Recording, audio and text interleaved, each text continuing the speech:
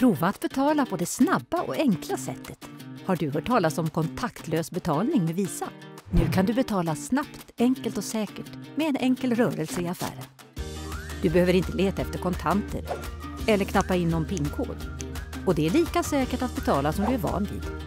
Vi använder den senaste och säkraste teknologin för att skydda din kortinformation. En enkel rörelse och du betalar för alla dina småköp. En kaffe på vägen, en lunch, en tidning eller matvaror i butiken. Snabbt och enkelt när du betalar upp till 200 kronor.